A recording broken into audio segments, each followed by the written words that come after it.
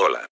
Aquí te traigo tres nuevos efectos de sonidos para Locuendo Director. Pega a los códigos en el programa para reproducirlos. Sonidos de hasta tres tipos, de alguien que está pensando. Am. Am. Sonido de alguien que traga algo. Sonidos de alivios. Uf. Uf. Dejaré los códigos en la descripción del vídeo. No olvides comentar y dar like. Suscríbete ya que sacaré más trucos para lo cuento. Chao.